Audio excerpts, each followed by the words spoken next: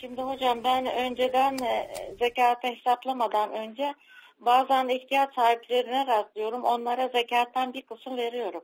Sonra zekatımı hesaplarken o parayı da katacağım değil mi? O zekatı verilmemiş para oluyor. Onlar katmayacaksınız. İzah edeceğiz efendim. Dedi eee hani zekatın nisabı, e, zekata nisabına malikim dedi. Eee, dolayısıyla dedi sene içinde de ze- zekat günüm gelmeden önce bakıyorum muhtaç birisini görüyorum. Hemen eee 3 lira 5 lira neyse ona veriyorum. Böyle verilebilir mi peşin? Verilebilir buyuruyor kitaplarda. Peşin veriyorsun. Ama onu bir yere yazacağım. Mesela bugün e, diyelim ki bir yere gittin fakir garip birisi tuttun 50 lira verdin. Bir başkasına 100 lira verdin. Bir başkasına başka bir zamanda e, verdin. Şimdi e, dinleyicimiz sordu. Benim bu verdiklerimin de zekatını verecek miyim diyor sor. Hayır. Zekatı verilecek olan zekatı verilecek olan zekat günü önümüze koyuyoruz hesabımızı. Onun için o gün önemli. O tarih önemli. Mesela diyelim ki bir Muharrem'i ele aldı. İşte önümüzdeki hafta bir Muharrem gelecek. Hesabını açtı. Bir Muharrem 1439. Bir Muharrem de zengindi. Açtı bir Muharrem'de. O gün e, elinde ne kadar para var. Ve ne kadar alacağı var. Bak bu hanım dinleyicimizin verdikleri alacak değil. Verdi bu gitti. Verdi onu. Verdi. Ne kadar alacağı var. Mesela Osmanlı'ya Mustafa Tököz'e para verdiydi falan. Ha. Ama geleceğini biliyor kesin. Geleceğini biliyor. Onlar da yazıyor. Alacak kısmına onları yazıyor. Alacak. Paraya, e, elindeki mevcut nakit paraya Bunları altını- ilave ediyor. Bunları ilave etti. Geçti borç kısmına. Borç kısmına. İşte eee, diyelim ki e, birisine şu kadar miktar verecek borcu var. Bir şey aldı taksitle ödüyor. 10 taksite böldü. 10 taksitin tamamı ne tutuyorsa. Borçları da buraya yazdı. Topladı. Efendim 50 bin lira borcu var. Ne kadar alacağıyla beraber elinde var? 150 bin lira. Borç ne kadar? 50 bin lira. 150 binden 50 bini çıkarıyor. 150 binden 50 bini çıkarıyor. Ne kaldı geriye? 100 bin. 100 binin 40'ta birini. O da 2500 lira ediyor. Aa, dur bakalım bir e, 2500 lira. Ne kadar vermiş? 1500 lirasını sene içinde vermiş. Tamam. Kağıt para olarak vermiş.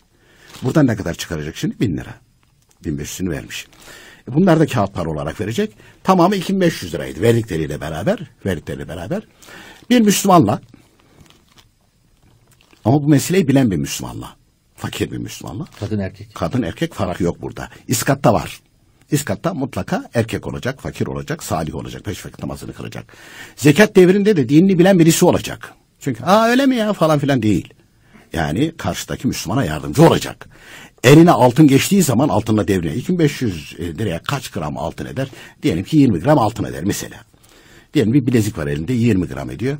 İşte zekatım olarak bu altını sana verdim. Sen de bildiğin için meseleyi, bildiğin için meseleyi aldım kabul ettim. Senin oldu o.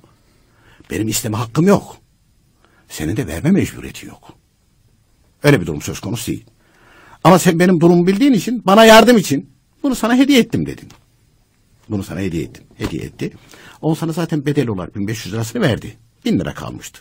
Ha bu 1000 liradan da aynı şekilde kendisine yardımcı olduğu için o fakir veya fakir vekiline 3-5 kuruş verir. Geri kalan kısmını da verir. Böylece zekatını ödemiş oldu mu? Oldu. Demek ki o verdiklerini tekrar zekat nisabı içerisine dahil etmiyor. Bitti. Be- e, bedeli e, olarak verdi ve onu dahil etmiyoruz efendim. İskat ve bütün bu işlemler e, şimdi diyelim ki bir kişi var yanınızda. Siz iskat yaptıracaksınız. Ben varım diyelim yanınızda. Ben de beş tane fakirin vekiliyim. Benimle böyle iskatı beş kere çevirebilir misiniz? Çevirebilirim. Çevirebilirim de karıştır, karışıklık olabilir. Ama olur. Olur yani. Olur. Çünkü beş ayrı kişinin vekiliyim. Vekilisin. Beşinin adına da o beş kişi sana benim adıma zekat almaya, iskat yapmaya, yemin kefareti atak almaya. Bunları da dilediğin şekilde tasarruf etmeye. Seni umum vekil tayin ettik dediler. Beş kişinin. E, bunlar olabilir mi? Olabilir. Mesela diyelim ki e, insan kendi hanımına zekat veremez. Değil mi? Evet. Kendi zekatını veremez ama. Başkasının seni vekil ettiler. Hanımın da fakir. Bu ermiş çocuğun var. Onlar da fakir. Onlara verebilir misin? Verebilirsin tabii. Ancak nasıl veremez? Ee, geldi dedi ki Mustafa Takır ben seni zekatımı işte ee, Denizli'nin işte falan köyündeki şahs tanıyormuşsun fakir. Zekatımı ona vermek üzere seni vekil ettim dedi. Kıpırdayamazsın artık. Ona vermek zorundasın. Tabii. O çünkü, şahsa. çünkü sadece oraya verilmek üzere seni vekil etti. Umum vekil değilsin. Ha başından baktın, aa ben oraya gidemem, kusura bakma sen başkasını vekil et diyebilirsin. Tabii. Kabul etme Kabul mecburiyeti etmeme. yok. Mecburiyeti söz konusu değil. Ama sen oraya gidiyorsun, öğrendi, geldi. Dedi ki orada fakir var. Veya o da ulaşma imkanın var. Ha, ulaşma imkanım var. Dedi ki benim şu zekatımı işte oradaki o köydeki veyahut da oradaki amcaya veya teyzeye vermek üzere seni vekil ettim dedi. Bitti. Senin yapacak bir hareket kabiliyeti yok. Ha- hareket kabiliyeti yok. Şeyde de öyle, kurbanda da öyle. Mesela ben dedim ki, aa Mustafa Bey dedim, al şu parayı. Bana bir e, kurban almak için seni vekil ettim. Abi kesi vereyim falan. Ben seni kesmek üzere vekil etmedim ki Almak üzere ettim. almak üzere ettim. Veya aldım ben kendim dedim. Aa Musa Bey dedim çok güzel keser. Keser mi İsmail Bey? Gördün mü hiç? Bilmiyorum. Ben keserdim vaktiyle de şimdi kesemiyorum yapamıyorum. Sen nerede gördün İsmail? Ben bile görmedim. Şimdi e, ben sana vekalet verdim. Musa Bey benim kurbanımı kesiver dedim. Kesmeye seni vekil ettim dedim. Gittin kestin. Siz hayvanı almışsınız. Almıştım. Hayvan teslim ettim size. Evet. Siz de götürdünüz kestiniz. Aa fakirler vardı. Dağıtıvereyim bunları. Dağıtamazsın. Ben öyle vekalet vermedim. Sadece kesersin. Sadece kesersin. Ama dersem ki al bu parayı bu para karşılığında benim vacip olan kurbanımı almaya kesmeye kestirmeye hatta aldırtmaya da etin de dilediklerine vermeye dağıtmaya seni umum vekil tayin ettim. Bitti benim işim. Sen bunu alır götürürsün hani diyebilirsin ki Hakkari'deki birisini tanıyorsun ya ben umum vekilim işte bir kurban al koç al kes dağıtıver oradaki fakirlere Osman'ın adına diyebilirsin artık çünkü umum vekilsin. Hatta Nijerya'daki tanıdıklarına, akrabalarına var mıydı orada?